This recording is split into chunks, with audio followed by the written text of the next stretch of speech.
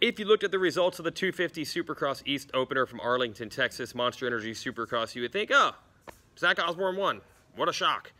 Yeah, it was not a predictable night at all. So let's review round seven and round one of that series. It's all brought to you by RacerXBrand.com. You can get hats, you can get water bottles, shirts, hoodies, uh, even some cool backpacks. I swear by my backpack. Go to RacerXBrand.com for more on that. So yeah, Osborne wins.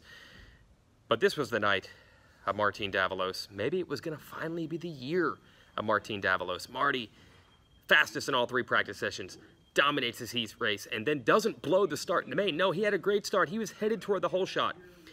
And you know what comes next. Anytime things are finally headed the right way for Martin Davalos, disaster strikes. He gets clipped by Jordon Smith and Josh Osby on the inside as he tried to finish them off in the first turn and officially seal that whole shot. He went flying so bad that his goggles and helmet visor basically exploded off of him. And yes, Davalos goes from fastest in practice to dominating a heat to not even completing one lap of the main event. That is as Martin Davalos as Martin Davalos can get. Sigh, bummer, heartbreak. And that huge first turn crash claimed so many riders that RJ Hampshire found himself uh, hole shotting and leading a race for the first time in his supercross career. Picked a bad night for that because RJ admitted he just wasn't riding well. Didn't feel good in practice and didn't even feel good while he was leading. So there's Hampshire trying to win his first ever main event on a night where he just didn't feel that great. Uh, said the way the track dried out. I think everyone, by the way, was a little confused because this dirt was fairly tacky, where Dallas last year was unbelievably hard packed and slick. So they were all struggling to a degree based on their bike setup and expectations. Hampshire was struggling, but he had a nice lead because Osborne, who managed to avoid that first turn crash, then crashed on his own.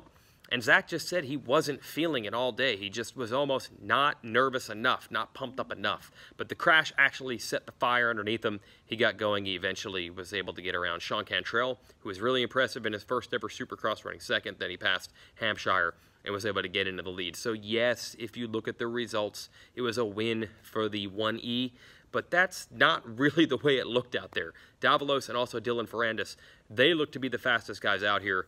They're both victims of first turn crashes, which just reminds us once again in the short 250 series, disaster can be huge.